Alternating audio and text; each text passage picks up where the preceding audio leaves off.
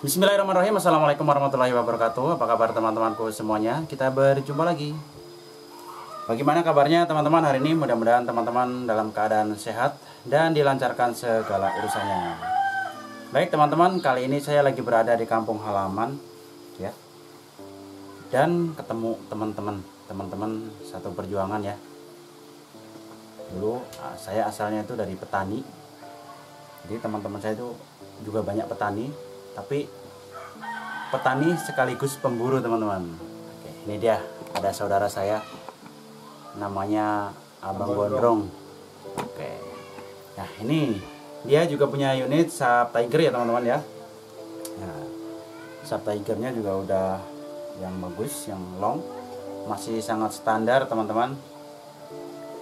Tapi sepertinya kurang perawatan ya teman-teman. Karena pada jamuran Oke kali ini saya akan coba servis ringan ya. Mudah-mudahan eh, nggak ada kendala. Soalnya kalau dari uji coba yang baru saya tes nggak ada kendala teman-teman. Tapi kita penasaran kita akan bersihkan bagian dalamnya. Oke ikutin terus teman-teman.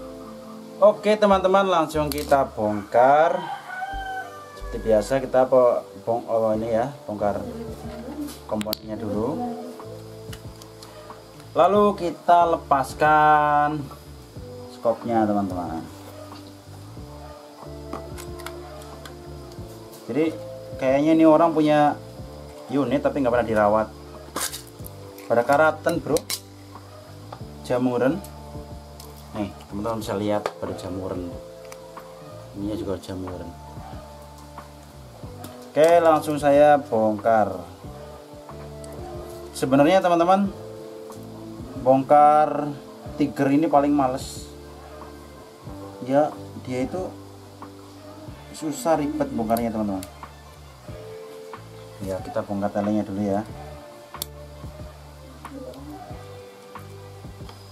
Nah ini telenya teman-teman. Teman-teman bisa lihat ini burem banget teman-teman. Jadi gambarnya itu aduh kayaknya nggak ini banget ya. Nggak jelas teman-teman bisa lihat tuh. Oke nanti saya coba bongkar saya bersihin ya. Mudah-mudahan bisa nih. Ini GSR mudah-mudahan bisa. Oke kita lanjut ke ini. Bongkar membongkar lagi. Kita sudah lepas teman-teman. Seperti biasa lihat itu tempat ininya pun nyampe pada ada anunya. Apa sih ya jenengannya ya?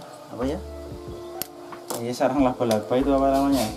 Kalau di kampung saya namanya ramat. Ramat whip ini sepertinya triggernya sudah diganti ya. Ini sudah diganti menggunakan trigger aluminium. Ini bukan orinya teman-teman. Tapi kalau boxnya masih ori semua masih ori. Oke, kita coba bongkar ya. Kita lepas dulu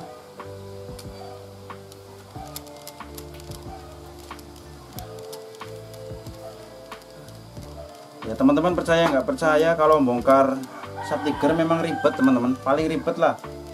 Soalnya aduh. Pokoknya ribet lah. Sulit dijelaskan dengan kata-kata teman-teman. Jadi kalau saya ngonten di Tangerang itu banyak suara burung teman-teman. Kalau di kampung tuh banyak suara jago. Kayaknya ngajak dirica-rica itu berkaratan teman-teman lihat. Saya coba ini bongkar ya. Kita bersihkan. Kalau memang nggak bisa bersihkan kita ngapain ya? Nah, kemarin saya pulang juga bawa pasar teman-teman. Bawa pasar ikan. Karena di kampung saya itu banyak ikan teman-teman mudah-mudahan nanti saya sempat masak ikan ya. Nih pasar ikan jos gandos.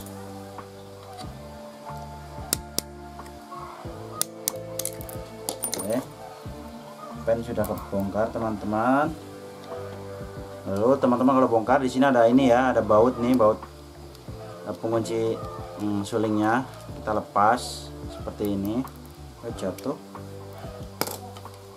Lalu tinggal ditutup teman-teman. Nah ini sudah ke lepas bagian serombongnya tuh. Serombongnya visirnya cincinnya sudah kelepas. Ini kalau tiger ini serombongnya besi ya teman-teman ya. Tapi sudah pada karatan tuh. Karena udah lama nggak dipakai. Nah ini dia. Ini sulingnya teman-teman. Wow ini juga udah karatan lihat teman-teman bisa dilihat. Udah karatan tuh. Ini masih standarnya. Ini masih standar pabrik dari tigernya arasnya juga kotor banget. Oke kita lanjut membongkar setang pompanya teman-teman. Gampang sekali tinggal dicolok bagian ini ya. Teman bisa lihat bisa lihat tuh. Nah, colok bagian pennya. Kalau nggak bisa teman-teman ketok. Yang penting pas lubangnya. Nah, kayaknya nih ngajak kekerasan dikit. Nah diajak baik-baik nggak bisa ini. Oke. Kita keluar teman-teman hitam banget. Kayak kameramen saya. Lagi di belakang kamera ini. Oke ini setang-setangnya juga udah oklak ya teman-teman ya. Kalau setang udah oklak kayak gini udah waktunya diganti.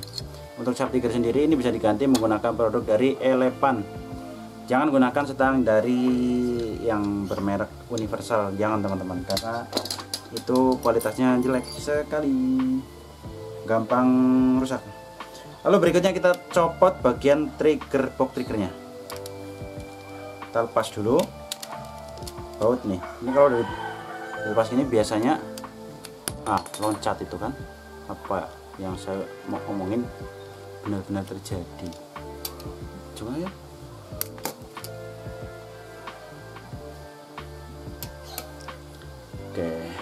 ini grendelnya juga masih standar pernya juga masih standar. Mungkin ini jarang banget dibongkar ya teman-teman ya. Wajar lah. E, pemburu dari kampung orangnya nggak rese-rese. Kita lepaskan kunci popornya sepertinya agak keras teman-teman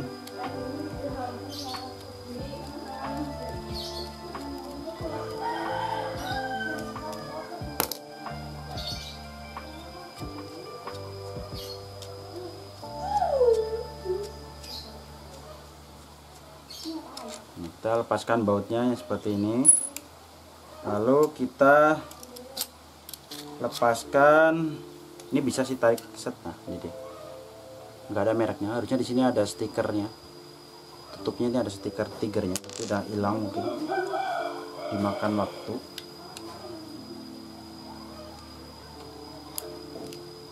Lalu kita copot bagian kunci baut udelan lah. Namanya ini baut udelan Oke, ini box trigger setnya teman-teman. Ini masih standar plastik ya. Ini kalau saya yang pakai pasti pecah karena plastik. Oke, untuk part L-nya masih cukup bagus, masih rapi. Pernya juga masih bagus. Untuk per keongnya sendiri masih cukup bagus. Cukup kotor juga, lumayan nanti kita bersihkan. Lalu kita lanjut untuk membongkar apa nih ya? Kayaknya kita nggak bongkar bagian dalamnya teman-teman. Kita hanya ingin membongkar bagian hmm, apa namanya ini? Tabungnya saja. Ya untuk tabungnya ini kita dorong dari belakang dari belakang sini ke depan teman-teman. Oke jadi ke depan ya. Kita langsung bongkar saja. Oke saya cari alatnya dulu karena nggak ada alatnya teman-teman ya sepertinya saya sudah menemukan alatnya. Ini dia saya menggunakan serobong dari tikernya sendiri. Kita dorong dari depan ke belakang. Aduh, ini belum ada ini teman-teman. Oh kita ambil dulu drum keongnya ya drum rumah per keongnya. Ini agak ini.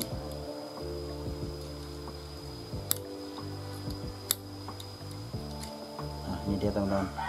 Ini drum keong. Lepaskan ventilnya ini pentilnya masih standar teman-teman. Pentil V4 hitam banget. Ini minyak kotor sekali. Jelek. Ya, lalu kita lepaskan dari depan ke dari belakang ke depan. Oke ini teman-teman. Ini di sini juga ada popa. Ah, ini dia. Ini karena nggak pernah dibongkar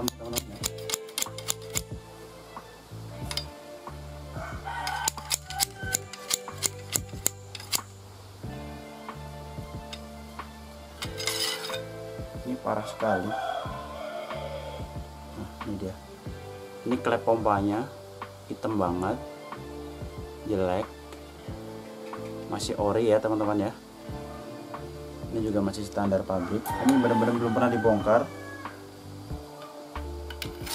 Kita lanjut mengeluarkan tabungnya. Nih, udah kelihatan ya teman-teman ya. Lihat, udah kosong, plong, udah nggak ada apa-apanya. Dan ini dia tabungnya teman-teman. Seal bagian luarnya sudah sobek, udah waktunya diganti. Kotor banget, banyak-banyak minyak ini. Udah banyak banget minyak. Oke, kita langsung bongkar bagian dalamnya bagaimana isinya. Kita sebelumnya bersihin dulu. Untuk membuka ini teman-teman bisa simak ya cara manual yang biasa saya lakukan. Jadi teman-teman kita ambil baut pudelannya seperti ini. Kita pasang kembali ke drat seperti ini. Lalu kita pasang Nah, ini baut yang kecil ini pasangan dia. Kalau sudah dipasang, ketok teman-teman. Ketok berlawanan arah jarum jam. Oke, sudah keputar. Lalu kita buka. Itu dia teman-teman. Hmm, Udah kebuka. Di dalamnya tuh ada oh ini kotrinya hitam banget, kotornya naujubillah. Nah, teman-teman bisa lihat juga tuh dalamnya. Wah, kita langsung bersihkan saja. Untuk teman-teman yang hmm, pengen tahu cara ganti seal inlet, teman-teman bisa lihat ya. Jadi sini itu adanya di bagian dalam, bagian depan. Nah, teman-teman lihat di sini ada penutup seal inlet. Teman-teman buka ya. Diputar. Seperti ini aja. Lalu nah ini dia, ini penutupnya teman-teman. Nah, di bagian dalam itu ada seal inlet. Teman-teman bisa ambil lalu ganti dengan seal inlet yang baru. Oke, mudah kan? Jadi untuk seal inletnya itu adanya di dalam teman-teman. Oke, saya bersihkan dulu supaya lebih jos. Nah, teman-teman, nah, ini adalah bagian seal o-ring bagian luar teman-teman. Nah, teman-teman kalau misalkan udah sobek-sobek seperti ini, nah, teman-teman ganti saja dengan yang baru gitu. Cara gantinya gampang, teman-teman. Jadi, teman-teman cukup mengambil ininya saja sebentar saya carikan alatnya